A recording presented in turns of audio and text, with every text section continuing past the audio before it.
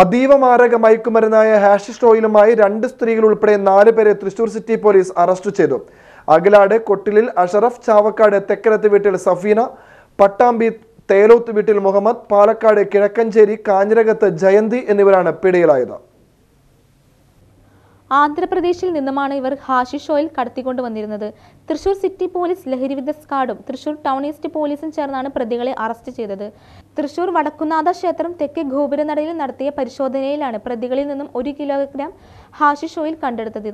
ഇതിൽ അഷ്റഫാണ് പ്രധാന പ്രതി. ഇവർ ഇതിനു മുമ്പ് നിരവധി തവണ ഹാഷിഷ് ഓയിലും കഞ്ചാവും ആന്ധ്രയിൽ നിന്നും എത്തിച്ച് ചാവക്കാട് വടക്കേക്കാട് പ്രദേശങ്ങളിലും എറണാകുളം ജില്ലയിലെ പല ഭാഗങ്ങളിലും എത്തിച്ച് വിൽപ്പന നടത്തിയിരുന്നതായി അന്വേഷണ സംഘത്തോട് വെളിപ്പെടുത്തി.